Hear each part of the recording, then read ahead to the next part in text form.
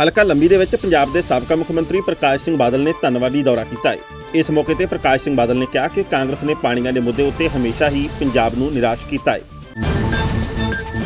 ਪੰਜਾਬ ਦੇ ਇੱਕ ਵਾਰ ਫਿਰ ਤੋਂ ਨਵੇਂ ਬਣ ਜਾ ਰਹੇ ਮੁੱਖ ਮੰਤਰੀ ਕੈਪਟਨ ਅਮਰਿੰਦਰ ਸਿੰਘ ਦੀ ਮਾਤਾ ਮਹਿੰਦਰ ਕੌਰ ਦੀ ਹਾਲਤ ਗੰਭੀਰ ਦੱਸੀ ਜਾ ਰਹੀ ਹੈ। ਸੂਚਨਾ ਦੇ ਮੁਤਾਬਕ ਉਹਨਾਂ ਨੂੰ ਪੀਜੀਆਈ ਦਾਖਲ ਕਰਵਾਇਆ ਗਿਆ ਹੈ।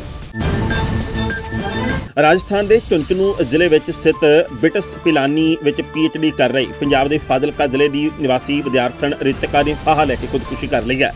ਜਾਣਕਾਰੀ ਦੇ ਮੁਤਾਬਕ ਇਹ ਵਿਦਿਆਰਥਣ ਪਿਛਲੇ ਕਈ ਸਾਲਾਂ ਤੋਂ ਇੱਥੇ ਪੜ੍ਹਾਈ ਕਰ ਰਹੀ ਸੀ।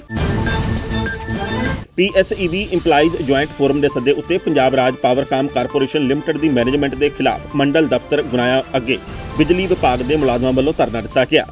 ਇਸ ਦੌਰਾਨ ਮੰਗ ਕੀਤੀ ਗਈ ਕਿ ਨੋਡਲ ਕੰਪਲੇਂਟ ਸੈਂਟਰਾਂ ਤੇ ਵੀ ਰੈਗੂਲਰ ਭਰਤੀ ਕਰਕੇ ਤੇ ਸਬ ਡਿਵੀਜ਼ਨ ਪੱਧਰ ਉੱਤੇ ਕੰਪਲੇਂਟ ਸੈਂਟਰਾਂ ਵਿੱਚ ਮੁਲਾਜ਼ਮ ਰੈਗੂਲਰ ਭਰਤੀ ਕਰਕੇ ਉਹਨਾਂ ਨੂੰ ਦੁਬਾਰਾ ਚਾਲੂ ਕੀਤਾ ਜਾਵੇ। ਮੁਕੇਰੀਆਂ ਦੇ ਪਿੰਡ ਐਮਾ ਵਾਂਗਟ ਵਿਖੇ ਵਾਤਾਵਰਣ ਕਲੱਬ ਵੱਲੋਂ ਐਜੂਕੇਸ਼ਨ ਹੈਲਪ ਗਰੁੱਪ ਦੇ ਸਹਿਯੋਗ ਨਾਲ 7ਵੇਂ ਪਾਤਸ਼ਾਹ ਸ੍ਰੀ ਗੁਰੂ ਹਰਿ ਰਾਏ ਜੀ ਦੇ ਗੁਰਤਾ ਗੱਦੀ ਨੂੰ ਸਮਰਪਿਤ ਸਿੱਖ ਵਾਤਾਵਰਣ ਦਿਵਸ ਮਨਾਇਆ ਗਿਆ, ਜਿਸ ਵਿੱਚ ਸ਼ਾਨਦਾਰ ਤੇ ਫਲਦਾਰ ਬੂਟਿਆਂ ਦਾ ਲੰਗਰ ਲਗਾਇਆ ਗਿਆ।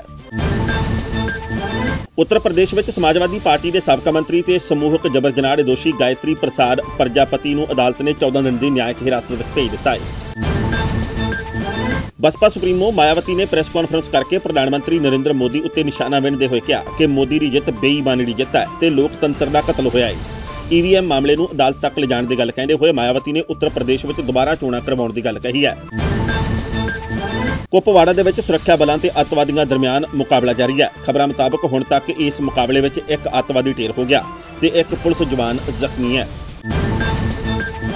ਇਲਾਹਾਬਾਦ ਵਿੱਚ ਟ੍ਰੇਨਿੰਗ ਦੌਰਾਨ ਭਾਰਤੀ ਹਵਾਈ ਫੌਜ ਦਾ ਚੇਤਕ ਹੈਲੀਕਾਪਟਰ ਹਾਦਸਾਗ੍ਰਸਤ ਹੋ ਗਿਆ, ਪਰ ਇਸ ਹਾਦਸੇ ਵਿੱਚ ਪਾਇਲਟ ਦਾ ਬਚਾਅ ਹੋ ਗਿਆ।